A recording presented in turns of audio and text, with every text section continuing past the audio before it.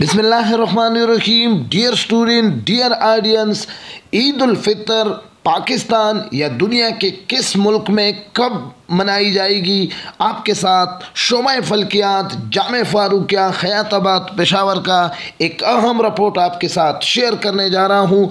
तो सुनिए तो लेकिन उससे पहले अगर आपने चैनल को सब्सक्राइब नहीं किया है तो जल्दी करें, चैनल को सब्सक्राइब करें और साथ बेल आइकन प्रेस करें।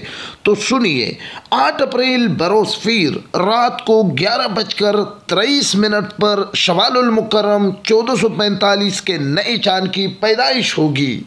9 अप्रैल बरोज़ मंगल शाम को गुरूब आफ्ताब के वक़्त चाँद की उम्र तकरीबन उन्नीस घंटे और सतारह मिनट होगी।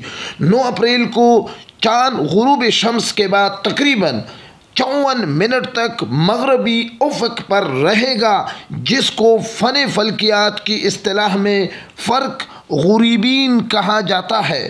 फ़न तहकीकात की रूह से 9 अप्रैल, बरोज़ मंगल, पाकिस्तान, अफ़गानिस्तान, इंडिया और चाइना में खुली आँख से चाँद नज़र आने का मामूली और मुशतब इम्कान है। जबकि शुमाली अमरीका जनूबी अमेरिका, यूरोप, अफ्रीका, सऊदिया और ईरान में कुली आँख से वाज इम्कान मौजूद है।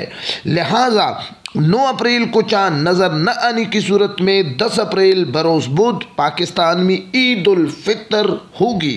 और चाँद नज़र न आने की सूरत में 11 अप्रैल बरोज़ जुमारात ईद उल फितर होगी।